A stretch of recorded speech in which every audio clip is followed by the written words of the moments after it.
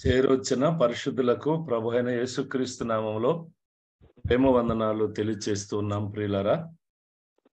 ప్రభు తన కృపలో తన ప్రజలమైన మనలను రాత్రి అందు భద్రపరిచి ఈ యొక్క మూడు వేల ఏడు వందల ఎనభై ఎనిమిదవ అనుదిన ఉదయ వాక్య ధ్యాన కూడికలోనికి ప్రవేశింపచేసిన దేవాది దేవునికే మహిమ కలుగునుగాక. అదే రీతిగా చేరి వచ్చిన ప్రజలకు ప్రభు అయిన యేసుక్రీస్తు నామంలో మరొకసారి ప్రేమ వందనాలు తెలియచేస్తూ ఈ కార్యక్రమాన్ని మనము ప్రారంభ ప్రార్థనతో ప్రారంభించుకుందాం ప్రియులరా. మన మధ్యనున్న ప్రియులు దేవుని దాసులు కొన్నేళ్ళు లక్కు గారు ప్రారంభ ప్రార్థన చేయగా ఈ కొడుకును మనము ప్రారంభించుకుందాం.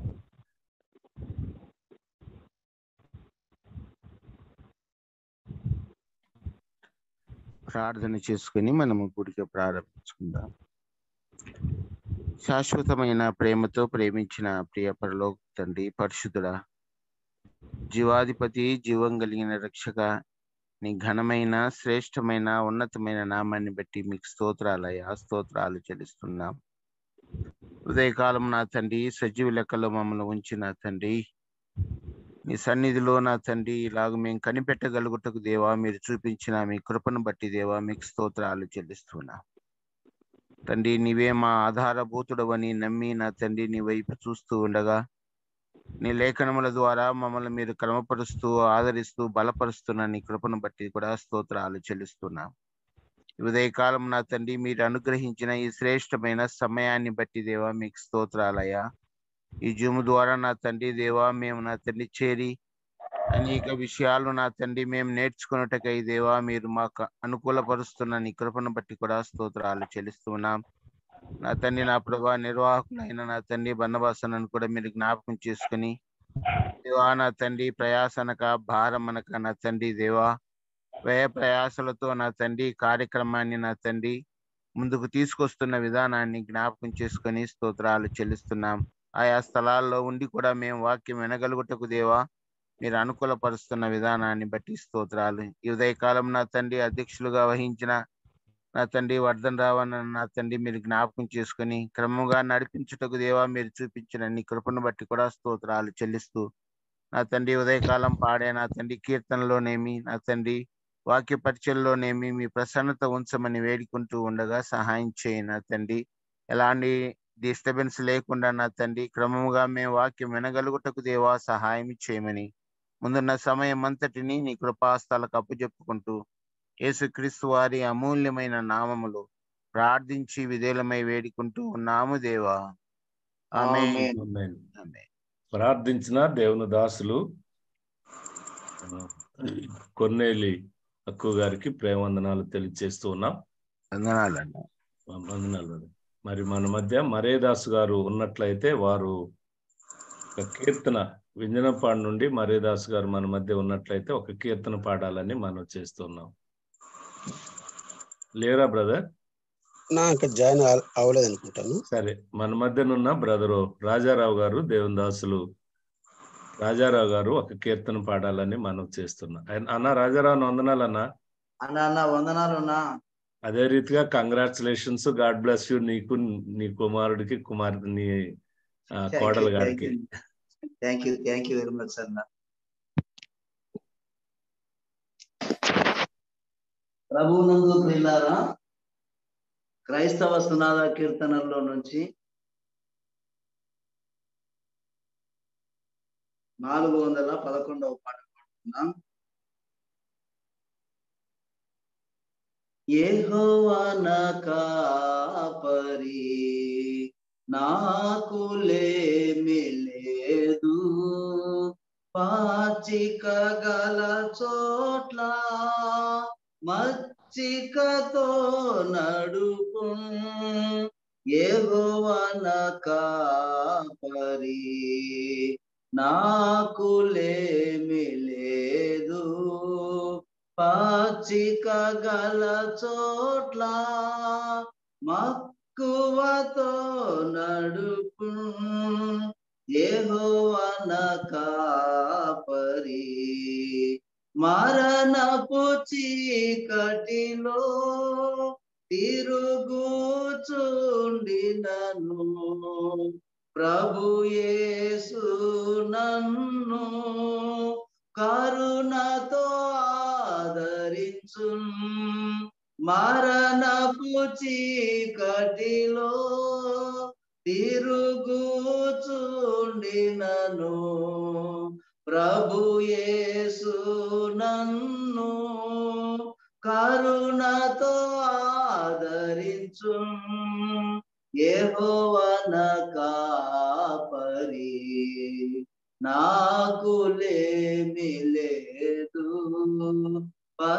గల చోట్ల మచ్చికతో నడుపు ఏహోవన కాపరి నూనెతో నా తలను అభిషేకము చేయు నా హృదయము నిండి పొర్లుచున్నది.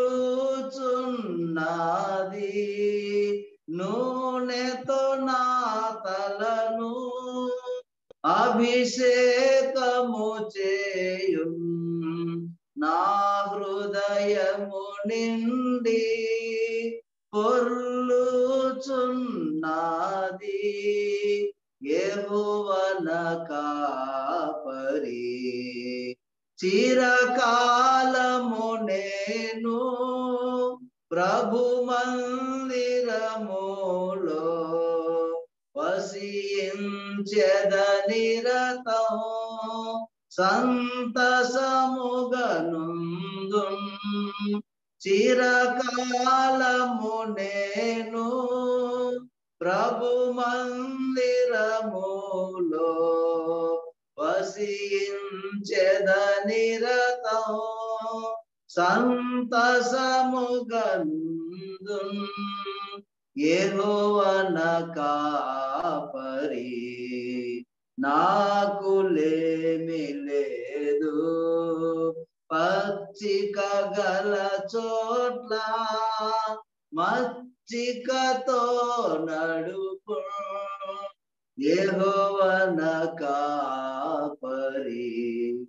థ్యాంక్ యూ నా వందనాలు. చక్కని కీర్తన పాడిన మన ప్రియులు రాజారావు గారికి ప్రేమందనాలు తెలియచేస్తూ ఉన్నాము అయ్యా వందనాలు. అయ్యా బన్వాస్ గారు మరి జాన్లీ గారు ఇంకా వచ్చినట్లేరే? నా ప్రేయర్ చేయించండి జాయిన్ అవుతారు ఓకే. మంచిది ప్రియులారా. మన మధ్యనున్న ప్రియులు కర్ర తిమోతి బ్రదర్ ఉన్నారు హైదరాబాద్ నుండి. వారు వాక్య సహాయం కొరకు ప్రార్థన చేయాలని మనం చేస్తూ ఉన్నాం. వందాలన్నా? అయ్యా వందనాలు. వాక్యము బి జాన్లీ గారు దేవుని సేవకులు. అలాగా. దయాళుడవు తండ్రి పరిశుద్ధుడా కృపా సత్య సంపూర్ణుడమైన ప్రియ ప్రభువ. దయాదాక్షిణ్య పునుడా మీకే స్థుతులు స్తోత్రాలు స్తోత్రాలు చెల్లిస్తున్నాము ప్రభువ. ఉదయకాల సమయంలో తండ్రి ఈ విధంగా కలుసుకోవటానికి మీ పాద సన్నిధిని మాకు ఉచితంగా అనుగ్రహించినందులకై స్తోత్రాలు తండ్రి. ఇంతవరకు నాయన ప్రారంభ ప్రార్థన చక్కని పాటలు పాడటానికి చూపిన కృపకై స్తోత్రాలు స్థుతులు చెల్లిస్తున్నాం. తదుపరి నాయన వాక్య పరిచర్యలో నాయన మీద ఆస్తులు మా ప్రియులు జానలి గారు తండ్రి మా ప్రభు మీ మాటలు అందించవలసిండగా మీ నోటి బూరగా వాడుకునండి. చక్కని మాటలు బలమైన శక్తి కలిగిన జీవం కలిగిన మాటలు తండ్రి. మీ దాసుని ద్వారా మీరు మాట్లాడండి. మా అందరితో కూడా నాయన మాట్లాడమని ప్రార్థిస్తున్నాం. వినగలిగిన గ్రహింపు కలిగిన వివేకం వేచిన అందరికి అందరికీ దయచేయండి నాయన మంచిగా తండ్రి మేము తండ్రి మీ పాద సన్నిధిలో చేరి యూనిటకు మంచి మనస్సును మంచి బుద్ధిని మాకు దయచేయమని ప్రార్థిస్తున్నాం. చేరి వచ్చిన ప్రతి ఒక్కరిని కూడా జ్ఞాపకం చేసుకోండి. ఇంకా అనేకులు కలుసుకోవడానికి అనుకూలపరచండి. దూమ్ ద్వారా నెట్ ద్వారా ఎటువంటి తొందర లేకుండా చేయి ప్రభావ. ఇక నాయన తన నిద్రమతి తీసివే ప్రభావ. మీకు స్తోత్రాలు. నడిపించి నాయన మీద ఆశలు వద్దనని కూడా బలపరచమని వేడుకుంటున్నాం. ప్రభు అన్ని విషయాల్లో మీరుండి మాయము పొందమని. మా రక్షకుడైన యేసుక్రీస్తు ప్రభువారి ఘనమైన నామమున ప్రార్థించి అడిగి వేడుకొనుచున్నాము తండ్రి. ఆమెన్.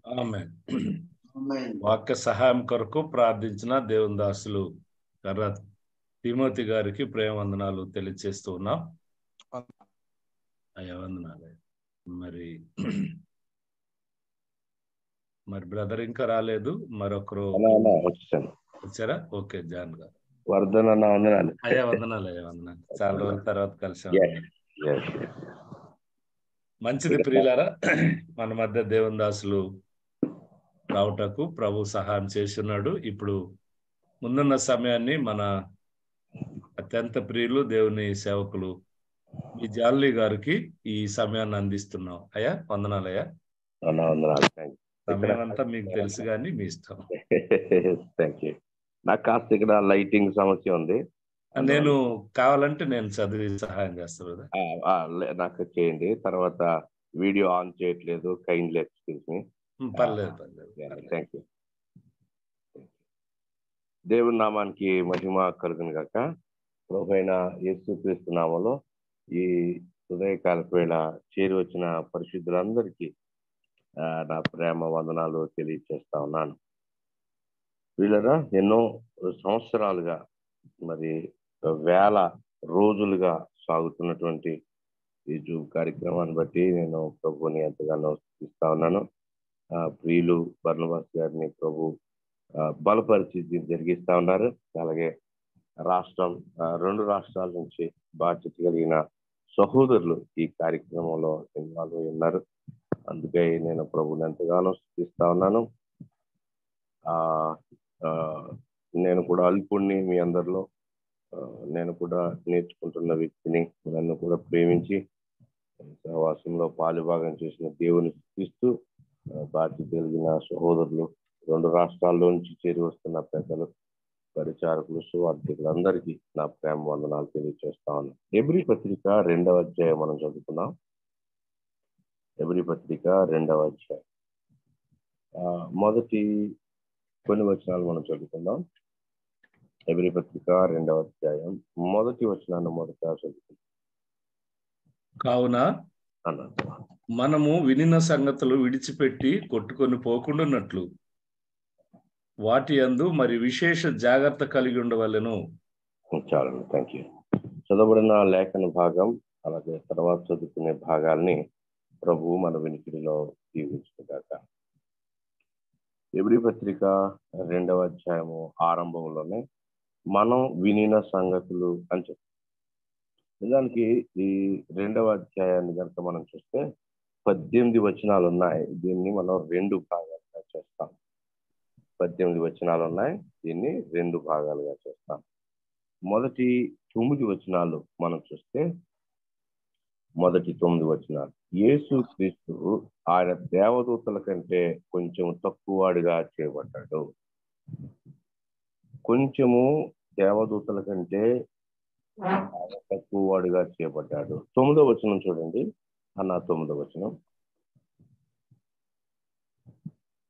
దేవుని కృప వలన ఆయన ప్రతి మనుషుని కొరకు మరణము అనుభవించినట్లు దూతల కంటే కొంచెము తక్కువవాడుగా చేయబడి చేయబడిన యేసు మరణము పొందినందున మహిమా ప్రభావములతో కిరీటము ధరించిన వానిగా ఆయనను చూచుచున్నాము. దేవదూతల కంటే కొంచెము తక్కువ వాడిగా చేయబడిన యేసు. అది మొదటి తొమ్మిది వచనాల యొక్క పాట చూడండి మొదటి రెండవ వచనంలో దేవదూతలు అనే మాట కనబడుతుంది. తర్వాత మీరు మూడు నాలుగు వచనాల్లో చూస్తే మూడు నాలుగు వచనాల్లో. మూడు నాలుగు వచనాలు కాదు. ఐదవ వచనం చివరిలో ఉంది దూతలు. అలాగే ఏడవ వచనం ఆరంభంలో ఉంది దేవదూతలు. ఏడవ వచనం ఆరంభంలో దేవదూతలు. అలాగే తొమ్మిదవ వచనంలో. కాబట్టి రిపీటెడ్గా దేవదూతలు అనే మాట. మొదటి అధ్యాయం ఎండింగ్లో కూడా చూస్తే దేవదూతల గురించి ఆయన చెప్పారు కాబట్టి ఇక్కడ ఏం చెప్తున్నాడంటే దేవదూతలను ఎందుకు ప్రస్తావిస్తున్నాడంటే ప్రభుత్వ యేసుక్రీస్తు ఒక పని నిమిత్తమై ఆయన దేవదూతల కంటే కొంచెము తక్కువ చేయబడ్డాడు కాబట్టి మొదటి తొమ్మిది వచనాలు ఎందుకు యేసు ప్రభు దేవదూతల కంటే కొంచెం తక్కువ చేయబడ్డాడో చెప్తున్నాడు. ఇక పది నుంచి పద్దెనిమిది వచనాలు చివరికి మనం చూస్తే కొన్ని మాటలు చూడండి. పదవచనంలో అనేకులైన కుమారులు అనే మాట నోటీస్ తర్వాత పరిశుద్ధ పరచబడిన వారు అనే మాట notice సహోదరులు అనే మాట notice తన సహోదరులు నా సహోదరులు అనే మాట. తర్వాత ఆ పిల్లలు అనే మాట.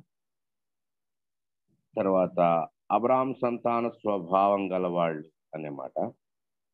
రక్తమాంసములు గలవాళ్ళు అనే రిపీటెడ్గా ఒక ప్రజ గురించి అని చెప్తుంది. ఒక ప్రజ గురించి అని చెప్తా ఉంది ఎవరు వాళ్ళు? రెండవ భాగం యొక్క శీర్షిక హెడ్డింగ్ ఏంటంటే యేసుక్రీస్తు ప్రభు ఒక ప్రజ గురించి చెప్తున్నాడు. వారిని మహిమకు తెచ్చాడు. ఆయన ఒక ప్రజ గురించి చెప్తున్నాడు. వారిని ఆయన మహిమకు తెచ్చాడు. ఎలా తెచ్చాడో పది నుంచి పద్దెనిమిది వచనాలు. ఆ, మొదటి తొమ్మిది వచనాల్లో దేవదూతల కంటే ఎందుకు తక్కువ వాడయ్యాడు? పది నుంచి పద్దెనిమిది వచనాల్లో ఒక ప్రజ గురించి చెప్తున్నాడు. వారిని ఆయన మహిమకు తెచ్చాడు. ఇది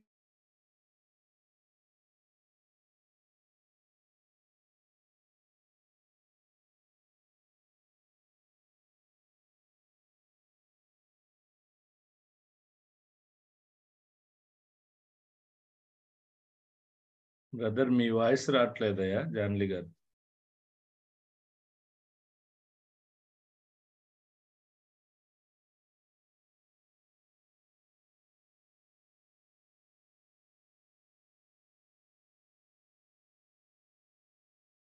అధ్యాయం. వాళ్ళలో జాన్లీ గారు ఇప్పుడు దాదాపు ఒక రెండు నిమిషాలు మీ వాయిస్ రాలేదు. అయ్యయ్యో సారీ ఇప్పుడు వస్తుందా వస్తుంది. టెక్నికల్ ఇష్యూస్ ఆయన వారిని మహిమకు తెచ్చాడు ఎలా తెచ్చాడు అంతవరకు వినిపించింది తదుపరి వినిపించింది. చెప్తాను పర్వాలేదు. ఆయన మహిమకు తెచ్చాడు. ఎలా తెచ్చాడో పది నుంచి పద్దెనిమిది వరకు. ఎలా తెచ్చాడో పది నుంచి పద్దెనిమిది వరకు. ఆ, మరలా చెప్తా. రెండవ వచనం రెండవ అధ్యాయం మొదటి వచనం చూడండి. కావున అని ప్రారంభించాడు. కావున అని ప్రారంభించాడు. కావున లేదా కాబట్టి అందుచేత అవే చెప్పాను మీ వాయిస్ మిస్ అయినా. కావున అందుచేత కాబట్టి ఏనండి ఎందుకు కావున? మొదటి అధ్యాయంలో ఒక విషయాన్ని చెప్పాడు కాబట్టి. మొదటి అధ్యాయంలో ఒక మాట చెప్పాడు కాబట్టి. ఏం కాబట్టి? మొదటి అధ్యాయంలో క్రీస్తు యొక్క సుప్రీమసీ చెప్తున్నాడు సుపీరియారిటీ. క్రీస్తు యొక్క సుపీరియారిటీ ఏమిటి అని అంటే మొదటి అధ్యాయంలో నాలుగు వచనంలో చెప్పాడు దేవదూతల కంటే ఆయన శ్రేష్ఠుడు. క్రీస్తు దేవదూతల కంటే శ్రేష్ఠుడు. సడన్గా రెండు తొమ్మిదిలో ఏమన్నాడు? దేవదూతల కంటే కొంచెము తక్కువ వాడు. ఎందుకు తక్కువ వాడయ్యాడు రెండులో చెప్తున్నాడు. మొదటి అధ్యాయంలో క్రీస్తు ఎంత శ్రేష్ఠుడో చెప్పాడు.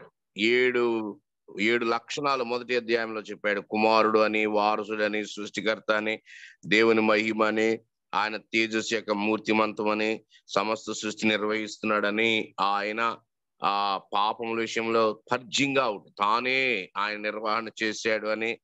సో ఎన్ని విషయాలు చెప్పాడు కాబట్టి కాబట్టి మరి ఏం చేయాలట? ఒక రెస్పాన్సిబిలిటీ చెప్ క్రీస్తు లేఖనాల్లో అతి శ్రేష్ఠుడు కాబట్టి అది దాని అర్థం. రెండు ఒకటిలో కాబట్టికి అర్థం ఏంటంటే మొదటి అధ్యాయంలో ఆయన అతి శ్రేష్ఠుడిగా చెప్పబడ్డాడు కాబట్టి మరి మనం ఏం చేయాలి? మనము వినిన సంగతులను విడిచిపెట్టి కొట్టుకుని పోకుండానట్లు వాటి అందు మరి విశేష జాగ్రత్త కలిగి ఉండవలెను అని ఆయన చెప్తున్నాడు. విశేష జాగ్రత్త కలిగి ఉండుట రెండవ మాట. విశేష జాగ్రత్త కలిగి ఉండట. ఆయన సుపీరియారిటీ అర్థమైతేనే ఆయన ఔన్నత్యం అర్థమైతేనే ఆయన మాటల మీద మనకి జాగ్రత్త కలుగుతుంది విశ్వాసకి. ఇదే మాటలు అవిశ్వాసికి చెప్తే వాళ్ళలో ఏ చలనం ఉండదు. కానీ విశ్వాసి వినిన సంగతుల్ని జాగ్రత్తగా అతడు పట్టుకోవాలి. ఎందుకంటే అతడు విశ్వాసి. అతనిలో రీజనరేషన్ జరిగింది. క్రొత్త జన్మ అనుభవం జరిగింది. విశేష జాగ్రత్త కలిగి ఉండాలి. విశేష జాగ్రత్త అంటే ఒక అర్జెన్సీని అత్యంత తీవ్రమైన అవసరతను తెలియ విశ్వాసి ఆయన మాటకు పరిగెత్తాలి. ఆ మాట లేకపోతే నేను చచ్చిపోతాను ఆ మాట లేకపోతే నేను ఏమీ చేయలేను నేను ఆ సారం లేని వాడిని అయిపోతాను అని ఒక అత్యవసరత అర్జెన్సీ నెసెసిటీని ఫీల్ అవ్వాలి. అది మూల భాషలో దాని యొక్క అర్థం. ఎందుకు ఒకవేళ అంత తీవ్రంగా దేవుని వాక్యాన్ని మనం కన్సిడర్ చేయాలి? అక్కడే చెప్పాడు. మీరు విన్నారు మంచిది. కానీ దాన్ని జాగ్రత్తగా పట్టుకోలేదు. ఏమైపోద్ది? కొట్టుకుని పోతారు అని చెప్పాడు. మీరు కావున ఏం విన్నారో? క్రీస్తు సుపీరియారిటీ గురించి విన్నారు? దాని మీద మీరు జాగ్రత్త కలిగి ఉండాలి. రెండవది జాగ్రత్త లేకపోతే ఏమవుతుంది అని అంటే కొట్టుకొని పోతారు. Drift away. విశ్వాసి దేవుని వాక్యంపై ఆధారపడకపోతే అతడు కొట్టుకుని పోతాడు. To slip. చూడండి. ఒక ఓడ ఏదైనా బలమైన గాలి వేస్తే అది కొట్టుకుని పోతుంది నీటిలో. ఎక్కువ పెట్టిన బాణం బాగా ఎక్కువ పెట్టి సంధించారో చేతిలో పట్టు తెలిసింది అనుకోండి బాణం జారిపోద్ది గురి కొట్టలేదు. విశ్వాసి విన్న వాక్యాన్ని జాగ్రత్త కలిగి లేకపోతే ఆ వాక్యం పనిచేయదు. స్లిప్ ఆఫ్ అయిపోతుంది. బాణము. మనకి మంచు ఉండదు కానీ నాచు ఉంటుంది. నాచు అక్కడక్కడ కొన్ని ఏరియాల్లో ఎక్కడైతే తడిగా ఉంటుందో అక్కడ ఎండ పడితే నాచు. నాచు మీద కాలేస్తే ఏమవుతాం? జారిపోతాం. వా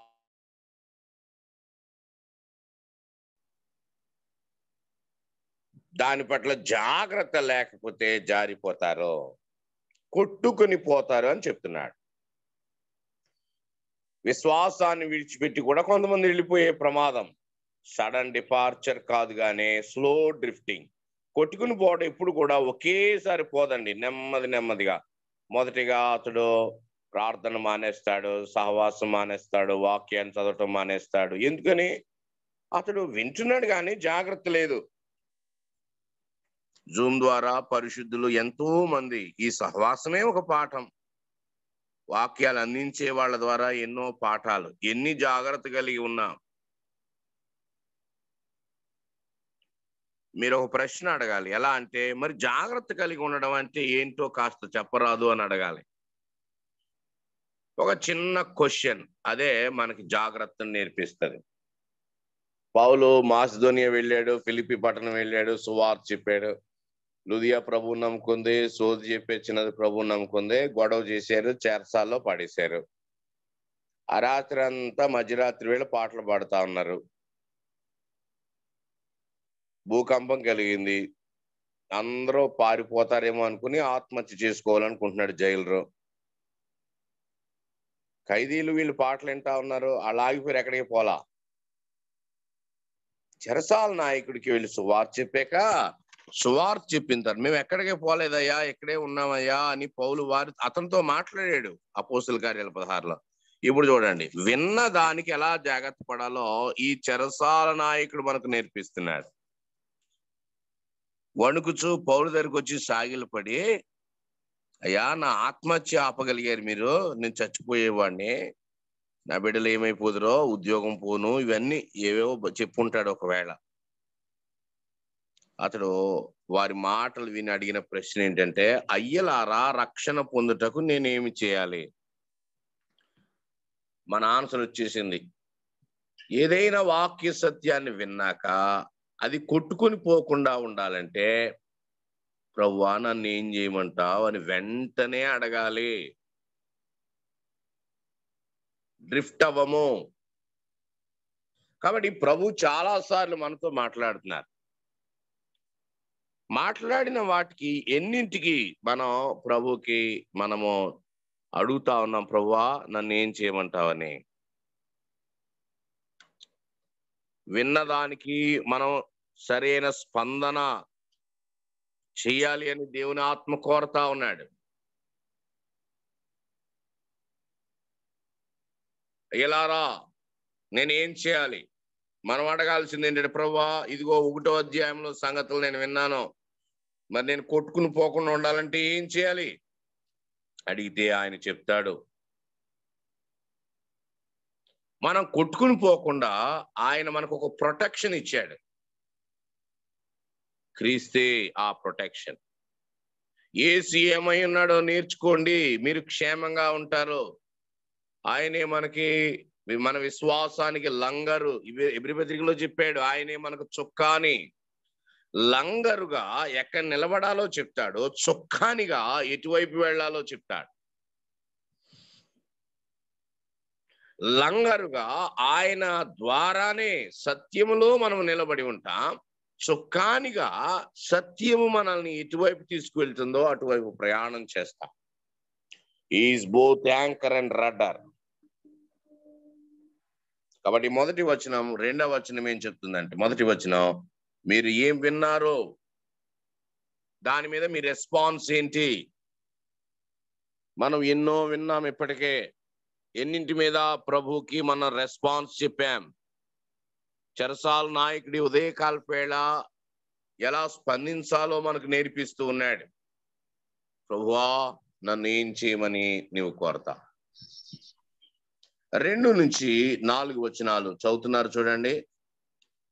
రెండు మూడు నాలుగు వచనాలు. ఎందుకనగా దేవదూతుల ద్వారా పలకబడిన వాక్యము స్థిరపరచబడినందున ప్రతి అతిక్రమమును అవిధేయతయు న్యాయమైన ప్రతిఫలం పొంది ఉండగా ఇంత గొప్ప రక్షణను మనము నిర్లక్ష్య చేసిన ఎడల ఎలాగో తప్పించుకుందుము? అట్టి రక్షణ ప్రభువు బోధించుడు చేత ఆరంభమై దేవుడు తన చిత్తానుసారంగా సూచిక క్రియల చేతను మహత్కార్యముల చేతను నానా విధములైన అద్భుతం అద్భుతముల చేతను వివిధములైన పరిశుద్ధాత్మ వరములను అనుగ్రహించుడు చేతను వారితో కూడా సాక్ష్యమిచ్చుచుండగా వినిన వారి చేత మనకు దృఢపరచబడేను. థ్యాంక్ యూ అన్న. జాగ్రత్తగా వినండి. దేవదూతల ద్వారా పలుకబడిన అనే మాట మీరు నోటీస్ చేయండి. ఏది దేవదూతల ద్వారా పలకబడింది? ఆఖరులు ఏమన్నాడు? దాన్ని దృఢపరిచాడు అన్నాడు. ఈ వచ్చిన భాగాల్లో మీరు ఏం చేస్తారంటే వాక్యము పలకబడి వాక్యము నంబర్ వన్ దానిలో ఇంకేం చేస్తారంటే నాలుగవ వచనంలో బోధ బోధించుట బోధించుట తర్వాత సాక్ష్యం ఇచ్చుట తర్వాత దృఢపరచుట. కాబట్టి రెండు మూడు నాలుగు వచనాల్లో వాక్యం గురించి చెప్తున్నాడు. దాని లక్షణాలు చెప్తున్నాడు. మొదటి వచనంలో ఎలా జాగ్రత్తగా ఉండాలో చెప్పాడు. రెండు మూడు నాలుగు వచనాల్లో వాక్యము దాని యొక్క లక్షణాలు చెప్తున్నాడు. దానికి ఏం చేయాలి మనం? అసలు ఏమిటంటే ఈ వాక్యం? దేవదూతల ద్వారా ఈ వాక్యం పలకబడింది అని అన్నారు ఈ వాక్యం దేవదూతల ద్వారా పలకబడింది? అపోస్తుల కార్యాలు సహాయం కొరకై ఏడవ అధ్యాయం యాభై మూడు చదువుతున్నారు చూడండి. అపోస్తుల కార్యాలు ఏడు యాభై మూడు. దేవదూతల ద్వారా నియమింపబడిన ధర్మశాస్త్రమును మీరు పొందితిరి గాని దానిని గైకొనలేదని చెప్పాను. కాబట్టి దేని ద్వారా దేవదూతల ద్వారా ఏమొచ్చిందని చెప్తున్నాడు? ధర్మశాస్త్రము. ద మొసాయిక్ లా ధర్మశాస్త్రము దేవదూతల ద్వారా వచ్చింది. అంటే పాపం అనగా ఏంటో? ధర్మశాస్త్రం చెప్పకపోతే క్రీస్తే అవసరం ఉండడు కాబట్టి ధర్మశాస్త్రం పని ఏంటంటే క్రీస్తు దగ్గరికి మనల్ని నడిపించే బాల శిక్షకుడు గలతి పత్రిక మూడులో చూస్తా. క్రీస్తు అవసరతను తెలిపేది ధర్మశాస్త్రం. ఆ ధర్మశాస్త్రాన్ని ఎవరి ద్వారా ఆయన ఇచ్చాడంటే దేవదూతల ద్వారా. మీరు అడగొచ్చు అన్న దేవుని చేతి వేలితో రాశాడు అని ఉంది కదా మరి ఎలాగా దేవదూతల ద్వారా అంటున్నాడు? రండి ద్వితీయోపదేశ కాండం ముప్పై మూడవ అధ్యాయం రెండవ వచనం. ద్వితీయోపదేశ కాండం. ముప్పై మూడు రెండు. వాక్యం గురించి ఈ భాగంలో మనం చూస్తున్నాం కదా. కాబట్టి దేవదూతల ద్వారా ధర్మశాస్త్రం ఇవ్వబడింది అనే దాన్ని మనం కొన్ని వచనాలు చూస్తాం. ద్వితీయోపదేశ కాండ ముప్పై మూడు రెండు. యెహోవా సీనాయి నుండి వచ్చెను. చెను సేయూర్లో నుండి వారికి ఉదయించెను. ఆయన పారాను కొండ నుండి ప్రకాశించెను. వేవేల పరిశుద్ధ సమూహముల మధ్య నుండి ఆయన వచ్చెను. కాబట్టి ఆయనకు- సినాయి కొండ మీద ప్రభు వచ్చి ఇచ్చినప్పుడు ఆయనతో పాటు వేవేల పరిశుద్ధులు ఎవరు వీళ్ళు? దేవదూతల గురించి చెప్తున్నాడు. ముప్పై మూడు రెండులో దేవదూతల సమక్షంలో ఆయన మోషేకి ధర్మశాస్త్రాన్ని ఇచ్చాడు. ఇదే మాట మనము చదివినట్లుగా స్టెఫాన్ చెప్పాడు. గలతీ పత్రిక మూడు పంతొమ్మిది కూడా చూడండి. గలతీ పత్రిక మూడు పంతొమ్మిది. అక్కడ కూడా ఏం చెప్తున్నాడు? అలాగైతే ధర్మశాస్త్రం ఎందుకు? ఎవనికి ఆ వాగ్దానం చేయబడినో? ఆ సంతానం వచ్చే వరకు అది అతిక్రమములను బట్టి దానికి తర్వాత ఇవ్వబడెను. అది మధ్యవర్తి చేత దేవదూతల ద్వారా నియమింపబడెను. మధ్యవర్తి అంటే మోషే. దేవదూతల ద్వారా నియమించబడింది. కాబట్టి ధర్మశాస్త్రము క్రీస్తు దగ్గరికి మనల్ని నడిపించాలి. వాక్యము అనేది క్రీస్తును సూచిస్తా ఉంది. కాబట్టి క్రీస్తు మనకు అనుగ్రహించబడ్డాడు ఆ ధర్మశాస్త్రం ఇవ్వబడినప్పుడు దేవదూతల యొక్క ప్రమేయాన్ని చెప్తూ ఉంటాడు. అలా అయితే దేవుడు ఇంత ఘనముగా వాక్యాన్ని ఇచ్చాడు. కాబట్టి మనం ఏం చేయాలంటే నిలకడగా ఉండాలి. నిలకడగా ఉండాలి. వాక్యం పట్ల మనం నిలకడగా ఉండాలి. సీరియస్గా ఉండాలి అని చెప్తున్నాడు. వాక్యానికి మనం కట్టుబడి ఉండాలి. ఎందుకనే ధర్మశాస్త్రం ఒక పని చేస్తది. ఏ పని చేస్తది? ఎబ్రి పత్రిక ఒకటి రెండు. ఆ రెండు రెండు రెండు చూడండి. ధర్మశాస్త్రం ఎలా ఇవ్వబడిందో చూస్తున్నాం. ధర్మశాస్త్రం యొక్క పరిచర్య ఏమిటి? రెండు రెండు. ఎందుకనగా దేవదూతల ద్వారా పలకబడిన వాక్యము స్థిరపరచబడినందున ప్రతి అతిక్రమమును అవిధేయతయు న్యాయమైన ప్రతిఫలం పొంది ఉండగా. ధర్మశాస్త్రం పని ఏమిటట? ప్రతి అతిక్రమాన్ని ఎత్తి చూపించాలి. ప్రతి అక్రమాన్ని ఎత్తి చూపాలి. అంత మాత్రమే కాదు ప్రతి అక్రమానికి ఏ శిక్ష ఉందో చూపిస్తుంది అని అన్నాడు. ఇది ధర్మశాస్త్రం యొక్క పని పనితీరు పనితీరు. కాబట్టి ఆ పాపం అనగా ఏంటో చెప్పింది ధర్మశాస్త్రం. ఆ పాపాన్ని మనం మొయ్యలేం ప్రభుని యేసు క్రీస్తు మోసాడు అని ధర్మశాస్త్రం ప్రభు వైపుకు మనల్ని నడిపిస్తుంది. ఇప్పుడు ఏం చెప్తున్నాడంటే మూడవ వచనంలోనికి రండి. ఎంత గొప్ప రక్షణను మనం నిర్లక్ష్యము చేసిన ఎడల మనం ఎలాగు తప్పించుకుందము అని. తప్పించుకునుట చూడండి ఎలాగు తప్పించుకుందము? తప్పించుకోవడానికి లేకుండా దేవదూతల్ని ఇన్వాల్వ్ చేశాడు ధర్మశాస్త్రం ఇవ్వటంలో.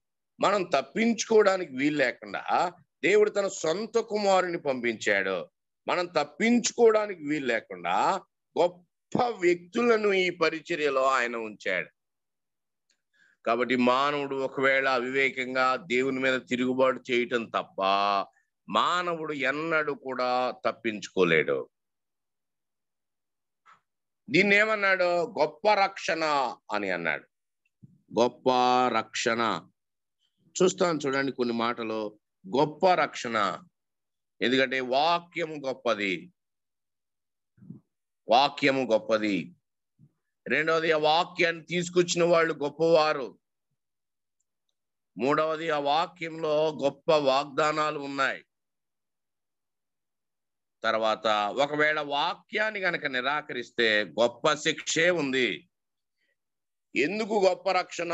అంటే ఆయన గొప్ప శిక్ష నుంచి తప్పించాడు. కాబట్టి రక్షణ గొప్పదయ్యింది. మనం చాలా జాగ్రత్తగా నోటీస్ చేయాలి. ఇది ఎందుకు గొప్ప వాక్యం? అంటే గొప్ప వ్యక్తి చేత అది మనకి ఇవ్వబడింది. ఎందుకు?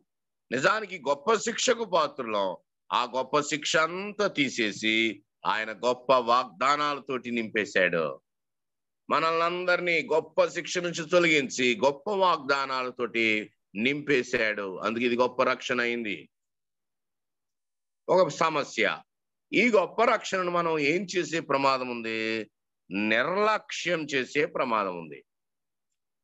నెగ్లెక్ట్ చేసే ప్రమాదం ఉంది.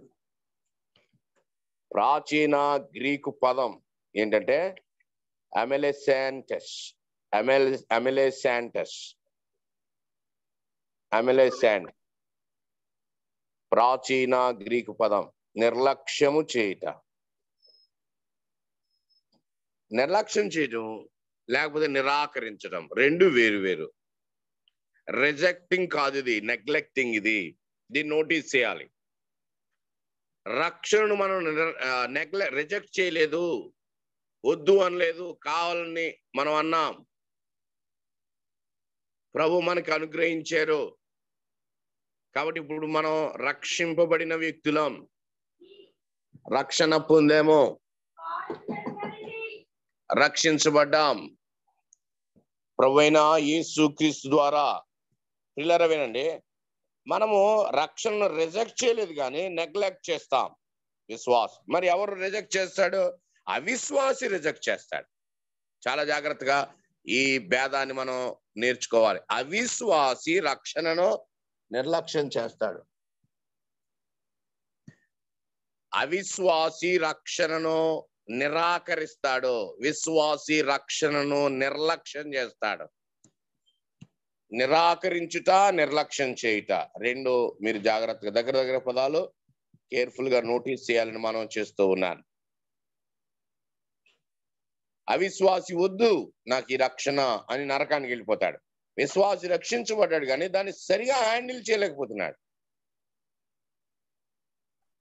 నిజానికి ఇబ్రి పత్రిక సువార్త పత్రిక లాంటిది. క్రైస్తవులకు సువార్త పత్రిక. వారిని విశ్వాసములో ఎంకరేజ్ చేసే పత్రిక. అలాగే కొన్ని క్రైస్తవులకు హెచ్చరికలు కూడా ఇచ్చే పత్రిక. ఎవరికి హెచ్చరికలు? ఒక రకంగా చెప్పాలంటే ఇబ్రి పత్రిక అంతా ఎందుకనంటే ఎవరైతే నిర్లక్ష్యం చేస్తున్నారో వారికి ఈ పత్రిక. అది ఒక రకంగా ఒక ఉద్దేశం కూడా ఇదే. వారు ప్రభుని నమ్ముకున్నారు కానీ నిర్లక్ష్యం చేస్తున్నారు. అందుకే ఈ పత్రిక the theme of the epistle ఇక్కడ చెప్పబడింది. తర్వాత గొప్ప రక్షణ అని చెప్పాడు కదా దాని దగ్గర కూడా కొన్ని మాటలు నేను మీకు జ్ఞాపకం చేస్తాను. సో గ్రేట్ సాల్వేషన్ గొప్ప రక్షణ. సో గ్రేట్ సాల్వేషన్ ఎందుకు ఇది గొప్ప రక్షణ? యోహాను మూడు పదహారు చూస్తే దేవుడు లోకమును ఎంతో ప్రేమించినని ఉంటుంది కదా? నిజానికి లోకంలో ఉన్న మనం అందరం కూడా మంచి వాళ్ళం కాం వీఆర్ ఎటర్నల్లీ కండెమ్డ్ మన మంచి వాళ్ళం కాదు. నిజానికి ఆ సువార్తలు దీన్ని ఎప్పుడు చెప్తా ఉంటాం. అదేంటంటే కొంతమంది దొరికిన నేరస్తులు చెరసాల్లో ఉన్నారు కొంతమంది దొరకలేదంటే బయట ఉన్నారు. ఈ లోక చట్టాలు కొంతమందిని మంచోళ్ళుగా చూస్తుంది మంచోళ్ళు కాకపోయినా. చాలా మంది చెరసాలు బయట ఉన్నాం కానీ దేవుని దృష్టిలో ఏకంగా అందరం పనికిమాళ్ళ వాళ్ళం అని చెప్పాడు రోమన్ త్రీలో. కాబట్టి మూడు పదహారులో ఇంతగా చెడిపోయిన లోకాన్ని ఆయన ప్రేమించాడు. అందుకని ఇది గొప్ప రక్షణ అయింది. ఒకటి గొప్పగా చెడిపోయిన వారిని ఆయన ప్రేమించాడు. మనమైతే ప్రేమించం వద్దు అంటాం. అసలు నువ్వు మాట్లాడొద్దు అంటాం. కాబట్టి ఆయనైతే ప్రేమించాడు. కారణం అంతగా క్షమించగలిగిన శక్తి ఆయనకున్నది. మన రక్షణ గొప్ప రక్షణ. ఎందుకు మీరు నిర్లక్ష్యం చేస్తున్నారో తర్వాత ఎందుకు ఇది గొప్ప రక్షణ? ఒక మూడు పాయింట్లు చెప్తాను. నోటీస్ చేయండి. నెంబర్ వన్ రక్షకుడు గొప్పవాడు కాబట్టి రక్షణ గొప్పది. ఒక గొప్ప రక్షకుని చేత మనం రక్షించబడ్డాం. అంటే నరకానికి పోతున్నాం. యేసుప్రభు నమ్ముకోకుండా ప్రాణం పోతే నిత్యాగ్నిగుండమే ఈ జూమ్లో ఉన్న మనందరిది. ఆయన ఒక గొప్ప రక్షకుని మన కొరకై పంపించి ఆయన మనల్ని రక్షించాడు. కాబట్టి ఇది గొప్ప రక్షణ. రెండవది కల్వరి శిలువలో గొప్ప మూల్యం చెల్లించబడింది. గొప్ప మూల్యం ద గ్రేట్ కాస్ట్ ఆయన తన ప్రాణాన్నే ఇచ్చాడు. కాబట్టి ఈ రక్షణ గొప్పది. మూడవది కల్వరి శిలువ మీద మనందరి యొక్క భయంకరమైన శిక్ష గొప్ప శిక్ష అనుభవించబడింది. ద గ్రేట్ పెనాలిటీ గొప్ప శిక్ష అక్కడ నెరవేరిపోయింది తీరిపోయింది. గొప్ప పెనాలిటీ గ్రీ అరమైక్లో తెతలిస్తాయి అని క్రీస్తు గట్టిగా ఆయన చెప్పాడు సమాప్తమైంది. పెనాలిటీ గ్రేట్ పెనాలిటీ ఆ మాట ఎందుకు చెప్తారు అంటే ఒకడు బిజినెస్ టెర్మినాలజీలో ఒకడు చాలా ఎక్కువ అప్పు ఉన్నాడు మరొకడు అప్పు అంతా కట్టేశాడు. కాబట్టి అప్పు తీరిపోయిందయ్యా అని చెప్పడానికి తెతలిస్తాయి ఒక పెద్ద ప్రయాణం ఆరు నెలలు సంవత్సరం రెండు సంవత్సరాలు ఒక ఓడ ప్రయాణం చేస్తూ ఒక రేవు నుండి మరొక రేవుకి వచ్చింది. ఎన్నో తుఫాన్లు ఎన్నో ఆ రకరకాల ఇబ్బందులు ఎదుర్కొని ఎన్నో ఆ వెలుతురు లేని పగళ్ళు కదా చీకటి సముద్రంలో భయం ఇవన్నీ తట్టుకుని ఒక ఓడ గమ్యాన్ని చేరింది. అక్కడ నావికుడు చెప్తాడు తెతలిస్తాయి ప్రయాణం ముగిసింది. అప్పు కట్టివేయబడింది. ఒకడు శిక్షించబడ్డాడో కల్ ఆ చెరసాల్లో వేయబడ్డాడో వాని శిక్షాదినములన్నీ పూర్తయిపోయాయి. ఇప్పుడు బయటకు వస్తా ఉన్నాడు. వాడికి జైలర్ చెప్తాడు తెతలిస్తాయి వెళ్ళిపోయా. నీ శిక్ష అంతా కట్టివేయబడింది పూర్తి చేయబడింది తెతలిస్తాయి కల్వరి సిలువలో గొప్ప పెనాల్టీ పే చేయబడింది కాబట్టి అది గొప్ప రక్షణ అయింది. ఒక కారణం. ఎందుకు వ్యక్తులు ఇంకా రక్షణ నిర్లక్ష్యం చేస్తారంటే అసలు వారు పొందింది రక్షణే అని కొంతమంది అనుకోరు. ఏదో ఆయన ఇచ్చాడండి మేము తీసుకున్నామండి. కానీ నరక పంచుల్లో నుండి ఆ రక్షకుడు నన్ను కాపాడాడు. ఎవరైతే ఆ రీజన్ని వాల్యూ చేస్తారో వాళ్ళు ఎన్నడే కానీ రక్షణను నిర్లక్ష్యం చేయరు. తర్వాత చూడండి ఈ రక్షణ ఈ విషయాలన్నీ దేవదూతల చేత పలకబడ్డాయి అని అన్నాడు కదా. అది నెంబర్ వన్ దేవదూతలు పలికారు రెండవది. రెండవది. ఎవరెవరున్నారో చూడండి. ప్రభు దాన్ని బోధించాడు. నాలుగవ వచనం. అట్టి రక్షణ ప్రభు బోధించాడు. ప్రభు యేసుక్రీస్తు పని ఏంటంటే ఆయన రక్షణ బోధించడానికి వచ్చాడు.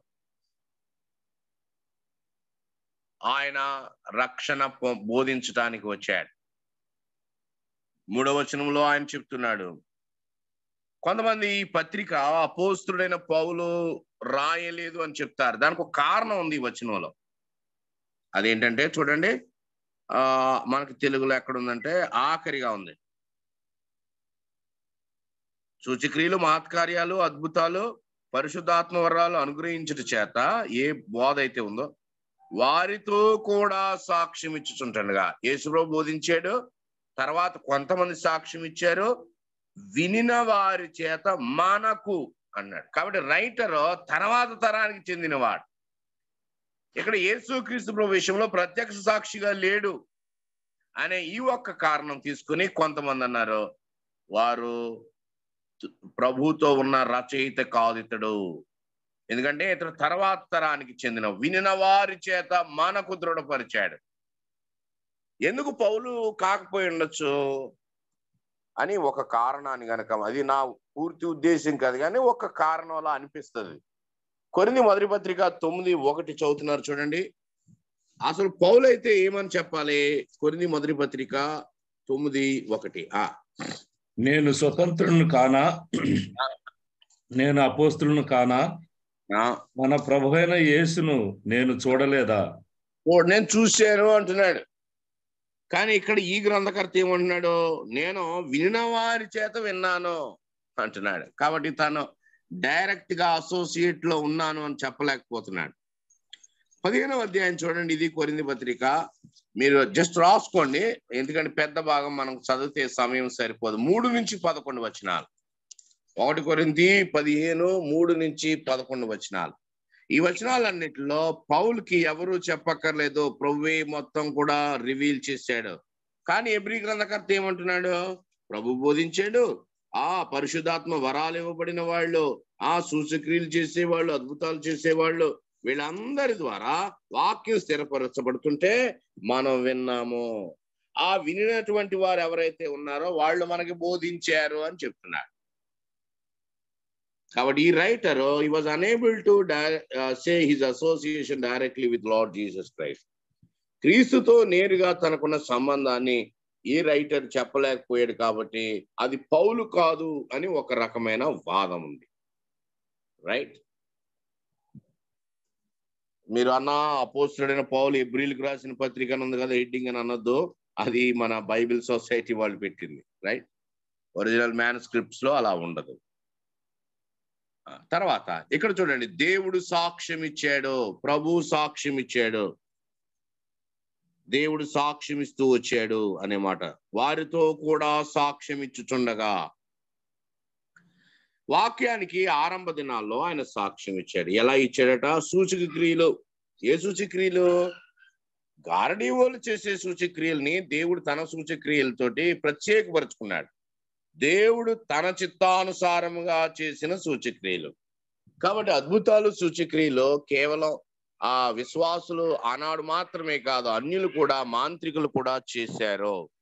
మోషే కర్ర పాడేశాడు ఐగుప్తు మాంత్రికులు కర్ర పాడేశారు. కానీ వారి కర్రల్ని మోషే కర్ర మింగింది. అలాగే ఇమిటేట్ చేశారు మోషే అద్భుతాలని చాలా మంది కానీ వినండి అద్భుతాలు ఎందుకు చెప్తున్నాడు? దేవుని వాక్యాన్ని దృఢపరచటానికి. ఒకసారి దృఢపరిచాక అద్భుతాలు అక్కర్లేదు. అది ఇక్కడ మీనింగ్. అంటే అరవై ఆరు గ్రంథాలు ఇంకా రాకముందు ఆయన వీటిని అన్నిటిని ఉపయోగించాడు అని అర్థం. చూడండి అద్భుతాలు సూచక్రియలు మహత్కార్యాలు వివిధములైన పరిశుద్ధాత్మ వరాలు. కాబట్టి ఇప్పుడు అన్ని వరాలు ఇప్పుడు లేవు అవసరం లేదు. ఎందుకనే? పలకబడిన వాక్యము దృఢపరచబడింది అత్యుత్తించబడింది సంఘము సాక్ష్యమిస్తుంది. కాబట్టి ఇంకా సూచక్రియల దగ్గర నేను ఎక్కువసేపు ఆగట్లేదు ఎందుకంటే మీరు అందరూ ఎరిగిన వారే. అవి ఎందుకు జరిగాయి ఆరంభంలో అంటే దేవుని యొక్క వాక్యము స్థిరపరచబడుట. నేను ఒక హెచ్చరిక ఈ మాట చెప్పి నేను ముందుకు వెళ్ళిపోతాను దేవుని పిల్లలమైన మన జీవితంలో ఆయన కార్యాన్ని చేస్తున్నాడు. ఎందుకంటే వాక్యాన్ని స్థిరపరచుటకే. The one and only sole purpose of the ministry సేవ యొక్క ముఖ్యోద్దేశం ఆ ప్రాంతములో ఆయా వ్యక్తులలో వాక్యము స్థిరపరుచుట. కాబట్టి మనమున్న స్థానిక సంఘాల్లో ఏ కార్యము జరిగినా కానీ అల్టిమేట్గా వాక్యము స్థిరపరచబడుట కొరకై. తీసేయండి. వాక్యాన్ని స్థిరపరచడానికి అవసరం లేని పనులన్నీ అన్ని చక్కబెట్టేయండి కా అని వాక్యం మనకు హెచ్చరిక చేస్తుంది. దృఢపరుచుట కొరకై. మన కార్యక్రమాలన్నీ సువార్త ప్రకటన కొరకై. ఆయన కుమారుడైన యేసు క్రీస్తును ప్రకటించటం కొరకై. ఆయన కుమారుని ప్రకటన కొరకు కాని వాటిని వేటిని మనం చేయాల్సిన అవసరం లేనే లేదు. తర్వాత ఐదు నుంచి ఎనిమిది వచనాలు మనం చదువుకుందాం. ఐదు నుంచి ఎనిమిది వచనాలు. మనము మాట్లాడుచున్న ఆ రాబోవు లోకమును ఆయన దూతలకు లోపరచలేదు. అయితే ఒకడు ఒకచోట ఈలాగున దృఢముగా సాక్ష్యం ఇచ్చుచున్నాడు నీవు మనిషిని జ్ఞాపకము చేసుకొనుటకు వాడేపాటివాడు. నీవు నరపుత్రిని దర్శించుటకు వాడేపాటివాడు. నీవు దేవదూతల కంటే వానిని కొంచెం తక్కువనిగా చేసితివి. మహిమా ప్రభావములతో వానికి కిరీటము ధరింపజేసితివి. నీ చేతి పనుల మీద వానికి అధికారం అనుగ్రహించితివి. వాని పాదముల క్రింద సమస్తమును ఉంచితివి.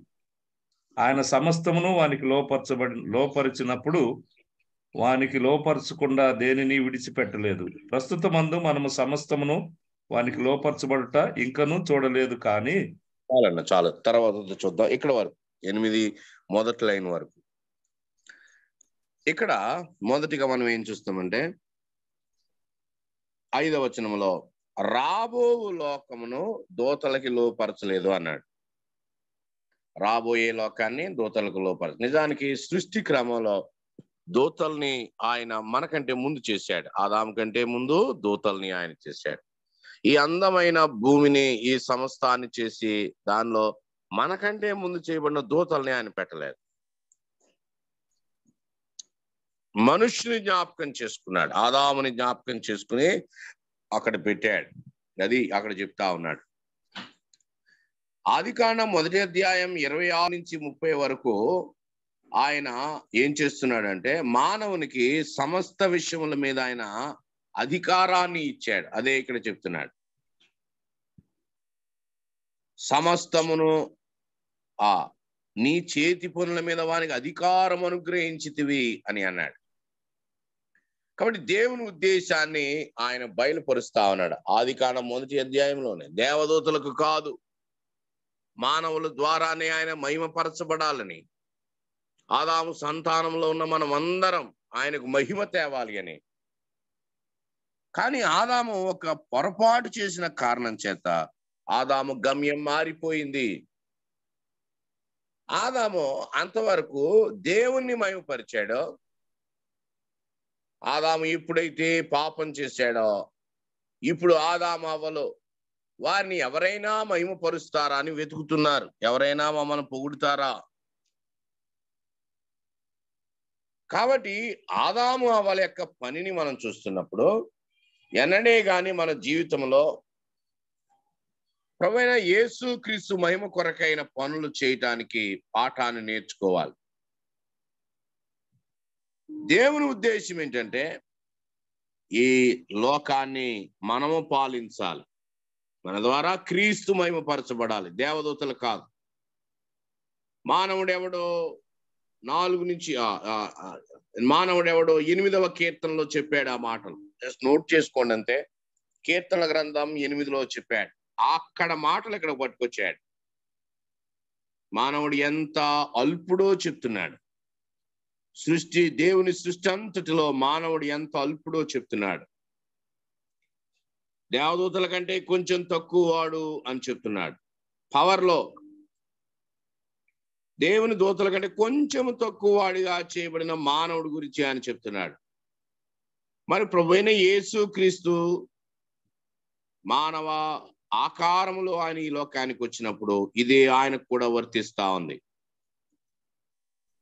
కాబట్టి ఈ అధ్యాయంలో ఏం చెప్తున్నాడంటే యేసు క్రీస్తు ప్రభు యొక్క దైవత్వాన్ని మొదటి అధ్యాయంలో చెప్తూ వచ్చాడు. దేవదూతల కంటే శ్రేష్ఠుడు మొదటి అధ్యాయం. అంటే దేవుడు. మొదటి అధ్యాయం క్రీస్తుని దేవుడుగా చెప్తూ వచ్చాడు. రెండవ అధ్యాయంలో ఆయన దేవదూతల కంటే కొంచెం తక్కువ వాడుగా చేయబడ్డాడు. అంటే మానవుడయ్యాడు. ఆయన మానవత్వం.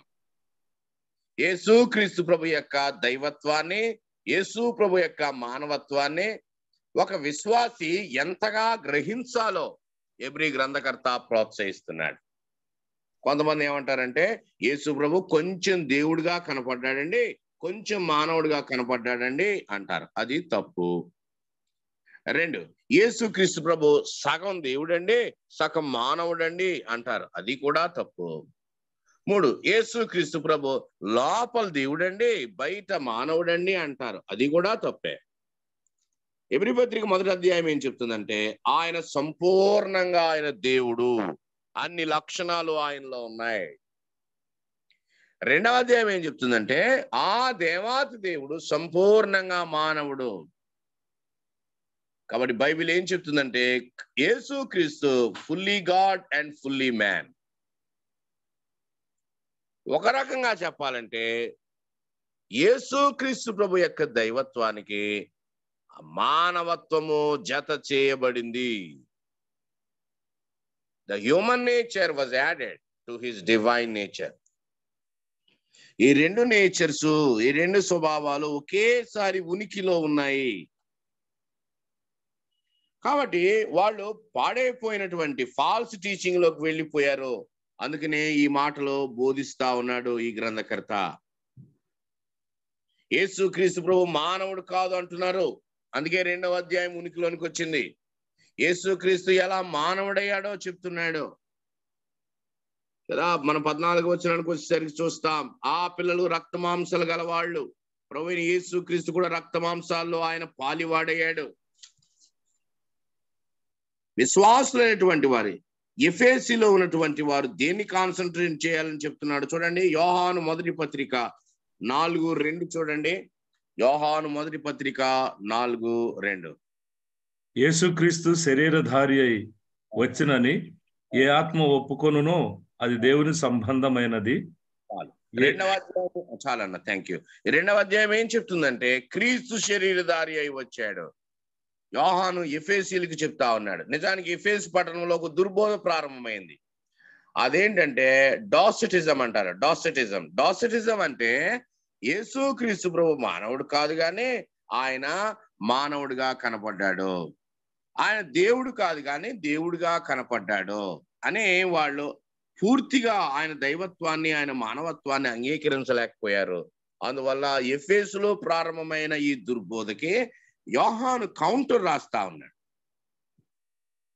సెరెంతూస్ అనేవాడు దీన్ని బోధించాడు. వారి మధ్య సెరెంతూస్ అనేవాడు ఒకడు బయలుదేరే ఈ దుర్బోధన చేశాడు. సెరెంతూస్ ఎఫేస్లో దీన్ని డాసటిజం అంటారు. అందుకని యోహాను దాన్ని వ్యతిరేకిస్తా ఉన్నాడు. అయ్యా యేసు క్రీస్తు శరీరధారి అయి వచ్చాడని ఎవడైతే ఒప్పుకోడో వాడు దేవునికి సంబంధించిన వాడు కాదు. ఎవడైతే ఒప్పుకుంటాడో వాడు దేవుని సంబంధి. అదే పత్రిక ఐదు ఆరు కూడా ఒక్కసారి చదవండి అన్న. ఐదు ఆరు.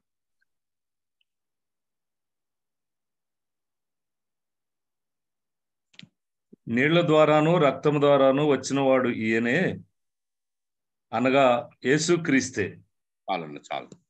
సో రక్తము నీళ్ళు అని చెప్తా ఉన్నాడు. రక్తాన్ని గురించి ఇక్కడ మాట్లాడతా ఎక్కడ రక్తం గురించి చెప్పబడినా అది ఆయన మానవత్వాన్ని గురించి చెప్పబడినటువంటి మాట.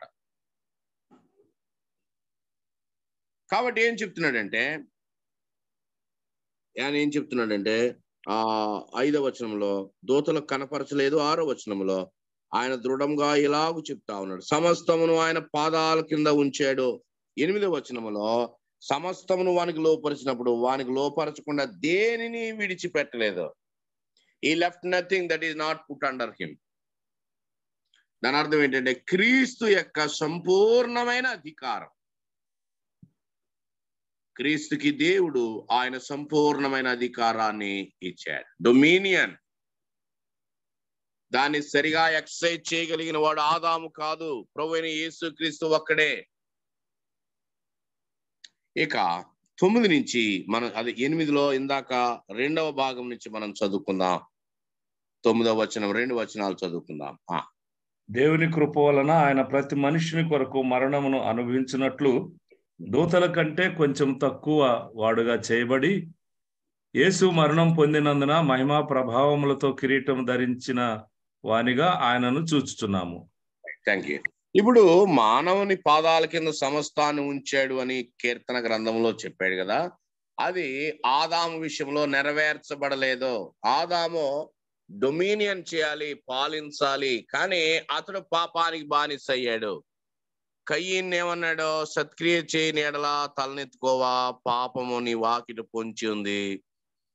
అది నిన్ను ఏలుతుంది అని మానవులు పాపం చేత ఏలబడ్డారు ఆదామునేమో ఏలికిగా ఆయన పంపిస్తే ఆదాము ఆదాము సంతానం అంతా దాసులయ్యారు. కాబట్టి ఎనిమిదవ కీర్తనలో చెప్పబడినటువంటి మాట కేవలము అది ఒక వాగ్దానంగా మిగిలిపోయింది నెరవేర్చబడలేదు. కానీ ప్రభు అయిన యేసు క్రీస్తు వచ్చిన తర్వాత ఆ వాగ్దానం నెరవేర్చబడింది.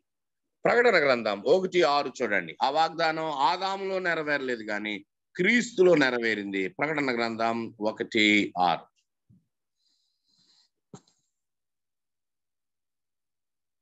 మనలను ప్రేమించుచు తన రక్తం వలన మన పాపముల నుండి మనలను విడిపించిన వానికి మహిమయు ప్రభావమును యుగయుగములు కలుగునుగాక ఆమెన్.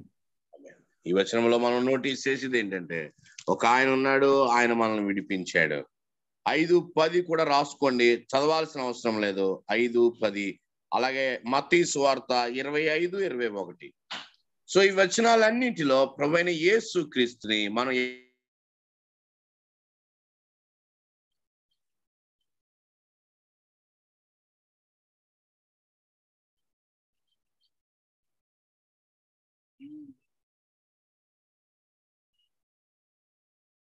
అయ్యా మరలా మీ వాయిస్ కట్ అయింది.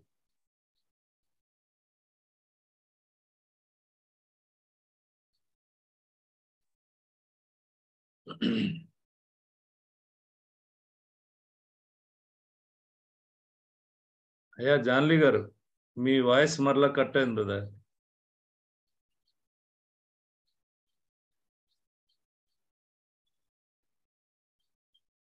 మహిమా ప్రభావములతో కిరీటము ధరించిన వానిగా ఆయనను చూచుచున్నాం. ఆయనను చూచుచున్నాం. ఇక్కడ ఒక ప్రాముఖ్యమైన మాట ఎంఫసిస్ ఇచ్చి నేను ముగించేస్తాను. ఆయనను చూచుచున్నాము అని ఆయన చెప్పాడు. ఎవరిని? యేసు క్రీస్తుని. ఇంకా కన్ఫ్యూజ్ అవ్వద్దు. క్రీస్తును మాత్రమే మీరు చూడండి అని చెప్తున్నాడు.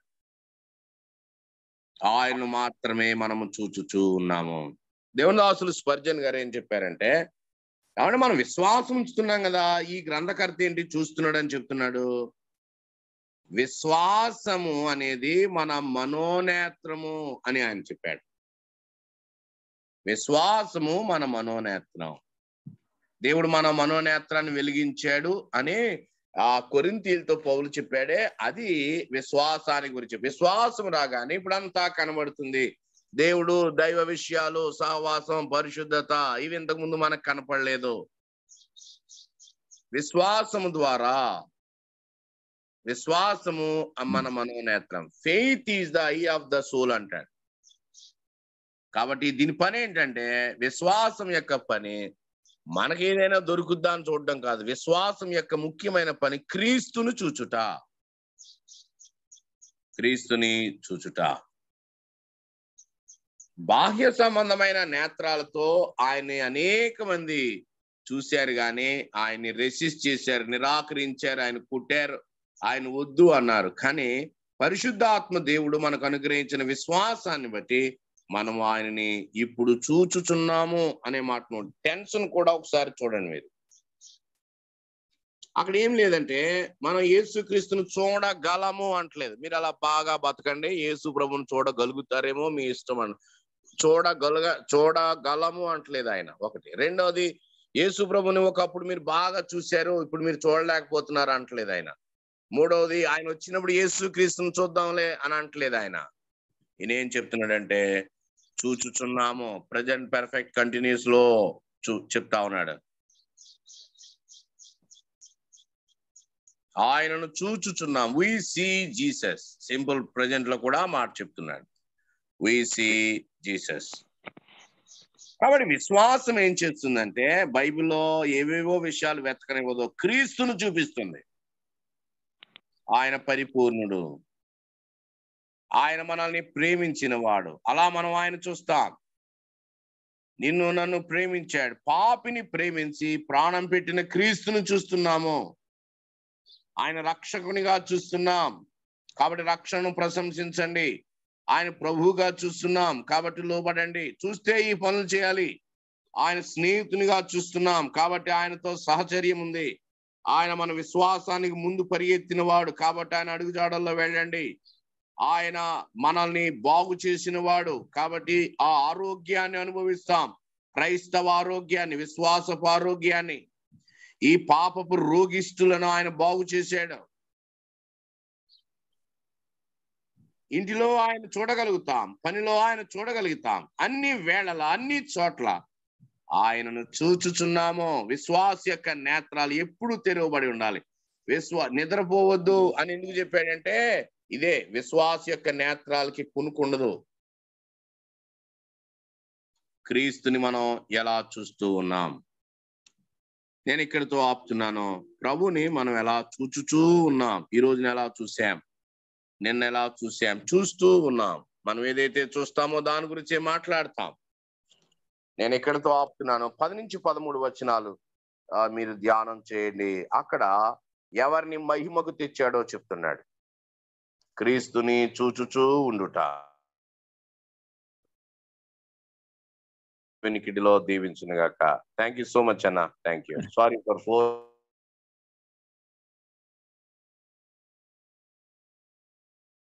దేవునికి మహిమ కలుగునగాక. చక్కని ఆత్మీయ తలంపులు అందించి ఉన్న మన ప్రియులు దేవుని దాసులు జాన్లీ గారికి ప్రేమవందనాలు జూమ్ కూడిక తరపున చెల్లిస్తూ ఉన్నాం. వందనాలన్న. చక్కని దేవుని పరిచయలో వాడబడుతున్న దేవుని దాసులు. మరి హెబ్రీ పత్రిక రెండో అధ్యాయమును రెండు భాగములుగా చేసి అందలి రమ్యమైన సంగతులు మన దృష్టికి తీసుకొచ్చి ఉన్నారు. వాస్తవమే. ఈ లేఖనాలలో క్రొత్త సంగతులను మరి తన దాసుని ద్వారా ప్రభు మనకు అందించున్నాడు. నా వాటికి నేను ఈ వాక్యం ద్వారా ఎంతో ప్రోత్సహించబడ్డాను. ఆ, పత్రిక నేను చాలా సార్లు విన్నాను కానీ నూతనమైన తలంపులు వాస్తవమే. నేటి దినాల్లో మనము బ్రదరన్ సంఘాలలో వాక్యానికి మనము అంతగా ఇవ్వవలసిన అంతగా మనము ప్రియారిటీ అనగా ఆ వాక్యానికి మనం విధేయత చూపట్లేదు వాక్య క్రమానికి మనం లోబడట్లేదు. సంఘాలలో ఎవరిష్టం వచ్చినట్లు వారు చేయక వాక్యాన్ని మనము ఎంత ప్రాధాన్యత ఇవ్వాలో వాక్య క్రమాన్ని అనుసరించి వ్యక్తిగత జీవితమేమి కుటుంబ జీవితమేమి సంఘ జీవితమేమి సంఘ క్రమమేమి ఇవి ఎంత చక్కగా జరిపించాలో ఎందుకంటే ఆ వాక్యం ఎంత గొప్పదో అదే రీతిగా మరి వాక్యాన్ని ఇచ్చినప్పుడు సాక్షులుగా ఉన్న పరిశుద్ధ దేవదూతలేమి? మరి ముఖ్యంగా వాక్యం ఇచ్చిన మహోన్నతుడైన దేవుడు ఎంత గొప్పవాడో ఆ విషయాన్ని కనుక మనం ఎరిగితే ఆ వాక్యానికి తప్పనిసరిగా మనంతటా మనమే విధేయత చూపుతాం. మేము రక్షించబడిన బడిన దినాల్లో మరి ఒక అంటే మా ఆత్మీయ తండ్రి అయినటువంటి జయరావు గారు వాక్య హద్దుల్లో నుండి అటు ఇటు వెళ్ళటానికి ఇష్టపడేవాడు కాదు సంఘాన్ని కూడా అట్లే నడిపించాడు. ఆయన ప్రభు సన్నిధికి వెళ్ళాక కొంత మేము బలహీనులమయ్యామని ఒప్పుకుంటున్నాం. సరే ఏది ఏమైనా బలపరచు దేవుడు మన ప్రభు ఉన్నాడు గనక మరి ఆయన మనల్ని బలపరుస్తూ ఉంటుండగా వాక్యం ద్వారా మనతో మాట్లాడుతూ ఉంటుండగా వాక్యానికి విధేయత చూపి ఆ రీతిగా జీవించుటకు పరిశుద్ధాత్మ దేవుడు మనలను ప్రోత్సహించును గాక మరొకసారి చక్కని తలంపులు హెబ్రి పత్రిక రెండో అధ్యాయం నుండి అందించిన ప్రియులు దేవుని దేవుని సేవకులు జాన్లీ గారికి ప్రేవందనాలు తెలియజేస్తున్నాం మనం. మనము ముగింపు సమయానికి వచ్చి ఉన్నాం. మన మధ్యన ఉన్న మన ప్రియులు ఆ రవి మనోహర్ గారు రవి మనోహర్ గారు ముగింపు ప్రార్థన చేయాలని ప్రార్థనా పూర్వకంగా మనం చేస్తాం. వందనాలు వదినా. వందనాలు అన్న. అందరికీ వందనాలు. ప్రార్థన చేసుకుందాం. పరిశుద్ధమైన మా ప్రియ పరలోకపు తండ్రి మహాగణుడు మహోన్నతుడు పరిపూర్ణుడు. అందుని బట్టి మీకు స్తోత్రము తెలుస్తున్నాం మీరు ఈ రోజు మమ్మల్ని ఇలాగున సమకూర్చి గత మూడు వేల ఏడు వందల ఎనభై ఎనిమిది రోజులుగా మాకు మార్నింగ్ కాన్ఫరెన్స్లో సహవాసాన్ని ఇచ్చి చక్కని సందేశాలు మాకు అందించి మమ్మల్ని మీ కొరకు సిద్ధపరుస్తున్నారు. అందులో బట్టి మీకు స్తోత్రములు. విశ్వాసంలో స్థిరపరుస్తున్నారు. మీకు స్తోత్రములు. చేరి వచ్చిన ప్రియులందరిని బట్టి మీకు స్తోత్రములు. నడిపిస్తున్న మా ప్రియులు జేపీ వర్ధన్ రావు గారిని బట్టి మీకు స్తోత్రములు. నిర్వహిస్తున్నటువంటి మా ప్రియులు బన్నబాస్ గారిని బట్టి వారి సేవను బట్టి సంఘాన్ని బట్టి మీకు స్తోత్రం. మరి ముఖ్యంగా చక్కని వాక్య సందేశాన్ని మాకు అనేక విషయాలు తెలియని విషయాల్ని తెలియపరిచినటువంటి మీ జ్ఞానముతో మీ ఆత్మ సహాయముతో మాకు అందించినటువంటి మా ప్రియులు బ్రదర్ జాన్లీ గారిని బట్టి మేము స్థుతిస్తున్నాము స్తోత్రిస్తున్నాం ఇంకా ఎన్నో విషయాలు తెలియవలసి ఉంది. మరి మా ప్రభా మీరు తెలియపరిచి మమ్మల్ని మహింపరచ మీరు మహిం పొందండి. మరి ముఖ్యంగా దూతల విషయంలోను మీ ప్రియకుమారి గొప్ప రక్షణ విషయంలోను ఆయన యొక్క ఆ, గొప్ప విషయాలు సిలువలో ఆయన గొప్ప మూల్యాన్ని చెల్లించిన విషయాన్ని ఆయన గొప్ప శిక్షను అనుభవించిన విధాన విషయాన్ని కూడా వివరించారు. ఇంకా అనేక విషయాలు మాకు అందించి మా హృదయాలను ఈరోజు మీ వాక్యంతో నింపారు తలంపులతో నింపారు. ఈ దినమంతా మీ వాక్య తలంపుల్లో కొనసాగుతూ సహాయం చేయ వేడుకుంటున్నాం మరి ముఖ్యంగా మీ దాసులను ప్రత్యేకంగా దీవించి మరొకసారి ఆత్మ సాయంతో మాకు అందిస్తారని ఎదురు చూస్తూ ఉన్నాం. పాట పాడిన వారిని బట్టి మేము స్థుతిస్తున్నాం. రాజారావు గారిని ప్రత్యేకంగా మీరు మంచి స్వరాన్ని ఇచ్చి పాటించారు మీకు స్తోత్రము. మరి చేరి వచ్చిన ప్రియులందరిని బట్టి మేము సూచిస్తున్నాం ప్రార్థించిన వారు వాక్యం కొరకు ప్రారంభ ప్రార్థన చేసిన వారందరిని బట్టి ఇస్తున్నాం మరి మా ప్రభ లోకంలోనికి వెళుతున్నాం ఈ ప్రాతకాల వేళ మీ పాదస్థంలో గడిపి లోకంలోకి వెళ్ళే భాగ్యాన్ని మాకు ఇచ్చారు. అందుని బట్టి మీకు స్థుతిస్తూ స్తోత్రిస్తూ మా ప్రాణప్రింటి యేసుక్రీస్తు పరిశుద్ధ నామన స్తోత్రించి ప్రార్థించి అడిగి వేడుకుంటున్నాం పరలోకమందు మా పరమ తండ్రి ఆమేన్. ఆమేన్. ముగింపు ప్రార్థన చేసిన మన ప్రియులు దేవుని దాసులు రవి మనోహర్ గారికి ప్రేమందనాలు తెలియజేస్తూ ఉన్నాం